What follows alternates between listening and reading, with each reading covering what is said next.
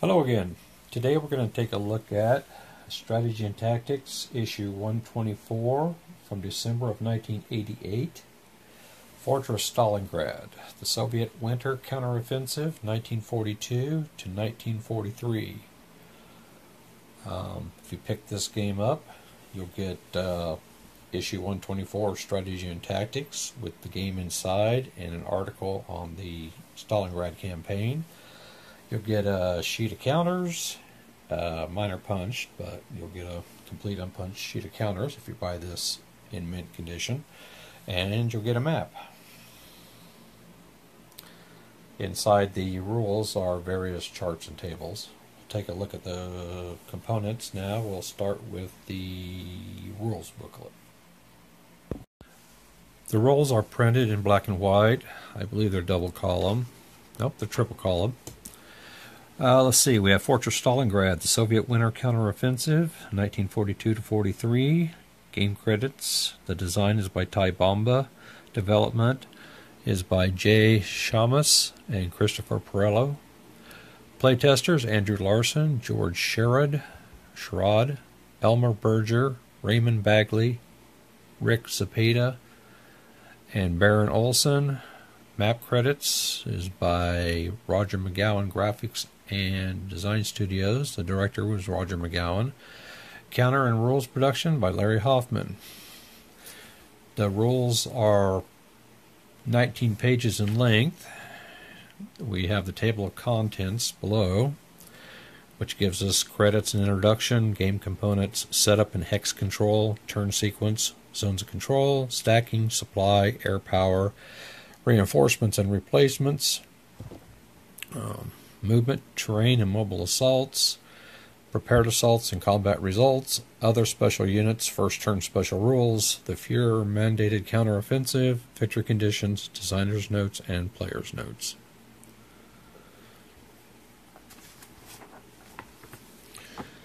And then we have a brief introduction of the game. Fortress Stalingrad is a strategic operational simulation of the single most important campaign of World War II in Europe. Um, two player game. Um, the map, let's see, we'll talk about that in a little bit. Game components 200 die cut counters. Your units. Let's take a look at the units real quick. Sample unit. Tell from the graphic, you got the turn of entry, its strength steps, attack factor, defense factor, and movement factor, its unit size, historic ID, and the type of unit. Most of the units in the game are core for the Germans and armies for the Soviets. Here we have a graphic of uh, that you'll find on some of the counters. Um, tank silhouettes and vehicle silhouettes for uh, mechanized and motorized and armored tank formations, and then we have standard NATO symbols for non motorized units. Let's see. We have the setup and hex control. Let me zoom back a little bit. Uh, and the abbreviations on the units. Turn sequence. Let's look at that real quick. All actions taken during a game turn of Fortress Stalingrad take place within the framework. Uh, let's see. Framework of two player turns, each of which is subdivided into smaller segments called phases. Actions taken out of sequence are illegal, and once a player completes a phase and has gone on to the next, he may not go back to perform some forgotten action without his opponent's permission. What do we have first? We have I, initial and mutual supply phase. You'll check the supply status of all units on both sides. Conditions determined here last throughout the entire game turn. We have two air power phase, first the German, then the Soviet. Place one air unit atop any friendly unit. For a German unit to receive air support, there must be a German controlled town or city within 10 hexes. For Soviets, there must be a frontal supply unit within 10 hexes. Then, step three, um, We have Soviet player turn, which has a reinforcement and replacement phase, movement, where he may conduct a, any mobile assaults. C, prepared assault phase. And let's see, place the Stavka Katyusha counters, calculate combat odds, and resolve battles one at a time. Then we have four, German player turn. He has a reinforcement replacement phase, movement and mobile assault phase, and a prepared assault phase. Then we have the terminal and mutual supply phase, where you remove from play all Soviet units bearing a number grade three or greater. Attenuated supply counters that have no complete supply line of any length at this time will also uh, remove, I guess. And then we have some other things. Uh, remove Axis satellite units. Remove all German units which have greater than three out of supply. Remove uh, marker on them. Remove all German units in or next to a friendly controlled city bearing an out of uh, six out of supply counter. Then we have zones of control. Projected into every type of hex. Units entering a hex containing enemy zone of control must immediately cease movement. It may move no farther. And let's see what else we have. See if I can keep any of this in frame here. We'll just do the standard blah blah blah. We have stacking rules. Uh, does it say? Two units may be stacked in the same hex. We have supply rules. Number seven. To be in supply and thus operate with full power, Soviet combat units must trace their supply line to the 001 frontal supply units. Uh, Germans, Axis. I'm not seeing them. They must be a little bit farther down the road. So we must. Not sure. I know they have to be about 10 hexes away from their uh, supply line. I'm just not seeing the details on it at the moment. Anyway, there are several rules on supply. Actually, there's about four pages of uh, rules on supply. Then we come to air power. During the air power phase of each game turn, both players must commit all their available tactical air support counters to particular units or stacks. Uh, let's see. Reinforcements and replacements. Both sides receive new units as reinforcements as specified on the turn record track. Uh, replenishment of weakened units already on the board or in the dead pile is accomplished using replacement steps. Reinforcements are received before replacements are taken. And we have another page or so of uh, replacements and reinforcements. Then it looks like we have Soviet units holding box and setup chart.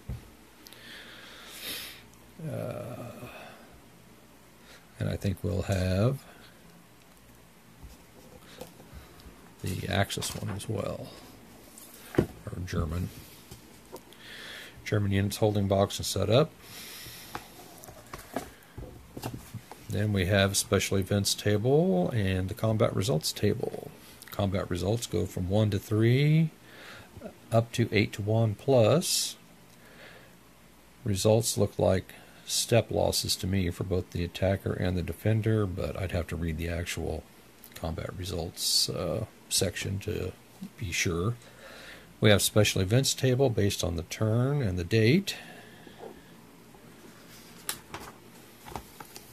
We have a counter manifest in case you lose a piece. You can craft your own or and or determine how many pieces you're supposed to have in the game. Mine came used, and I have not yet gone through the counters to verify that there are 200, but perhaps someday down the road. Then finally, by uh, section 10, we get to movement, terrain, and mobile assaults.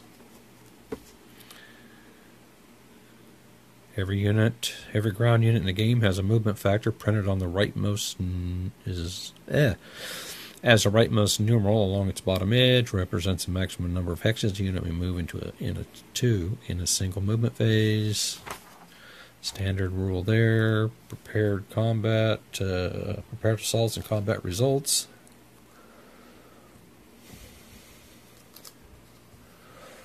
Look at the combat results table, look across the top line to find the odds. So it's odds base corresponding to the odds ratio of the battle you just figured. Roll the die, find the result under your odds column heading. Let's see. Their odds charts results are read as step losses or hexes retreated or any combination thereof. So that's how that works. Hmm, wait a minute. This looks interesting.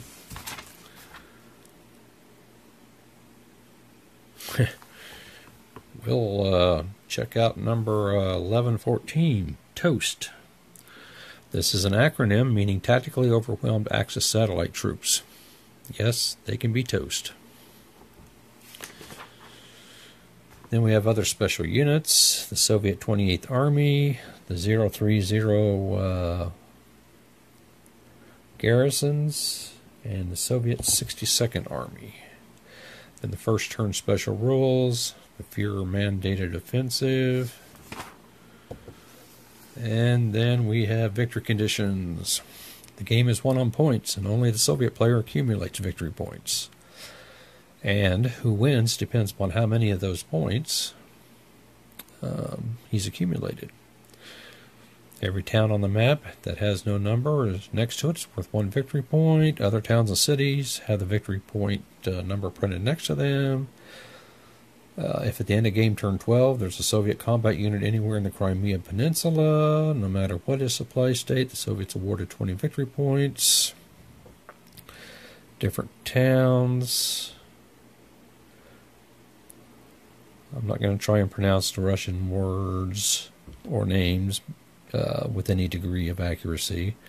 But Kharkov, Kursk, Maikop, Dnepropetrovsk, they're all worth uh, multiple points. Novorossiysk, Rostov, Stalingrad worth 20 points. Stalino, Voronezh, Zaporaz, Zaporaz, uh, however you pronounce it. Anyway, each uh, Axis satellite point destroyed is one, two points for German. And anyway, we come on down to at the end of the game, if the Soviet has 111 or more victory points, he wins. If the total is from 100 to 110, the game's a draw. If it's less than 100, the German wins. Then we have designer notes, about a page of those, and then we have player notes.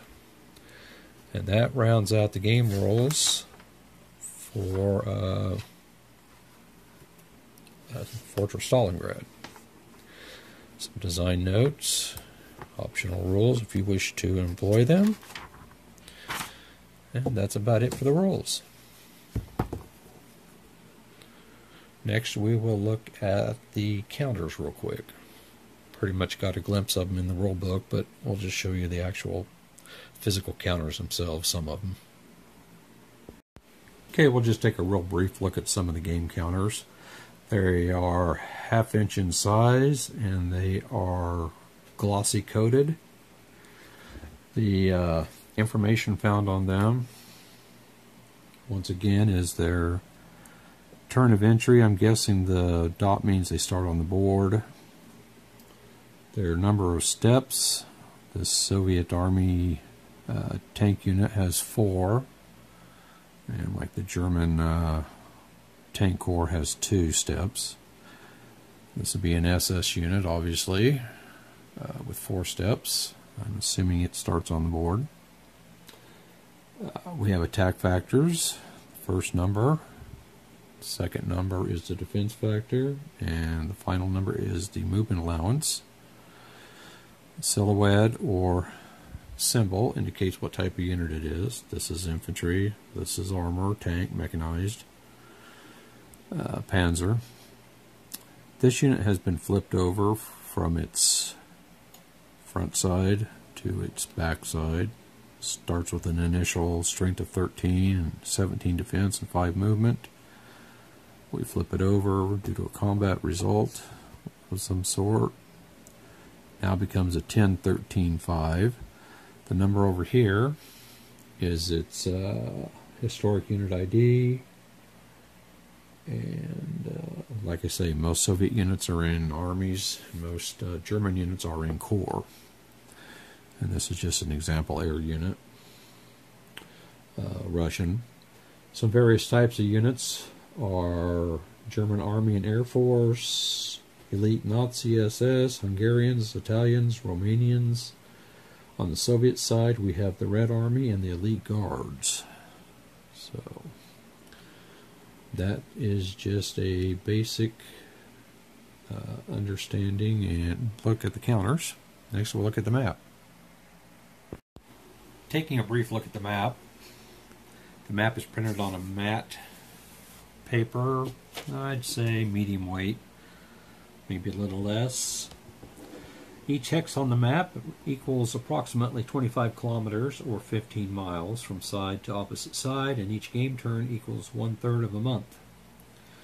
Terrain and cities on the map have been altered slightly from their exact real world configurations to fit within the hex grid, but the relationships between the terrain from hex to hex are accurate to the degree necessary for, for, prevent, for presenting players with those same space time dilemmas faced by their historic counterparts in the actual campaign. And there's only one scenario, and it's 10, uh, 12 turns long. The game is considered intermediate and it should take around six hours for experienced players. All right, well, back to the map anyway. Uh, it stretches in the north from the Dnepropetrovsk and Zaporizhzhia. I'm not sure how that word is pronounced. I'd really like to know. Zaporozhye in the north, down to Stalingrad in the south. This is in relationship to the map. It uh, not necessarily relationship to real world north, south, east, west. Looking at the map, that would be uh, Stalingrad in the east, obviously, and the Dnepropetrovsk uh, in the west. And it stretches from north on the actual on the actual uh, geographical axis uh, from Voronezh, Voronezh, uh, to in the south or the west edge of the map. Uh, let's see, what do we got? We got my Maykop, Novorossiysk, the Kerch Straits, and Krasnodar. Now, some of the cities are very, very hard to read. They decided they'd put them in a yellow. Uh, print them in yellow, I believe. Some of the major cities. But let's uh, let's look at this real quick. This terrain, well, this terrain is clear. This terrain is rough or broken. I'm sorry. Woods, marsh. We're probably going to find marsh over here near the Kerch Straits. Marsh hexes. Uh, let's see, Desert Steppe. That's going to be way down here. This is Desert Steppe. Oh, if I get into the camera. Desert Steppe. And then, of course, we have mountains, which we will find. What is that? Mountain Mountain Woods. Sorry. I think. Oh, there they are. Helps if I just pay attention. Mountains. Then we have minor, major rivers, towns, railroad. Towns, like I said, are uh, almost impossible to uh, read or see for this city here, well, where's my camera at? For this city here, there is a town here, but it's in yellow. Sorry, on a yellow map. Look at this one, I guess. It's a little bit closer. Uh, down here below this river. There it is. It's hard to look at the viewfinder and the map at the same time. This is considered to be a town. And as you can tell, very hard to see the little uh, graphic on there for a town. Cities, they're but they're a bit easier. Stalingrad here real quickly. That's a city. It's fairly easy to see it. And then we have other things like uh, entrenchments, entrenchments. Uh, must be a Soviet entrenchment. No, I'm not sure what that is. What is it saying it is? It says entrenchments for both those symbols, so I don't think that's quite right. But anyway, then we had the Kerch Straits and the weather line. The weather line is over here. The uh, dashed line here. And let's see, what else we have on the map? We have, zoom out again, combat results table, the aforementioned uh, terrain effects chart. We have Soviet victory points track. And then finally, we have the uh, game turn record track. And that is pretty much it, boys and girls, for Fortress Stalingrad from S&T 124. Um, haven't played the game, haven't owned it that long. Bought it used uh, off of some online retailer. And um, that's basically a look at the game in case anybody is interested in picking it up or adding it to their collection. Boy, seem to be, uh, well, the light and the camera don't uh, agree with each other. Anyway, that's a look at that. So I'm going to go ahead and post this up and I'll try to find some other uh, old ancient game to show you um, in the next couple weeks. Um, those of you who celebrate it, happy Thanksgiving and we will talk to you after the Thanksgiving holiday. Take care, stay safe.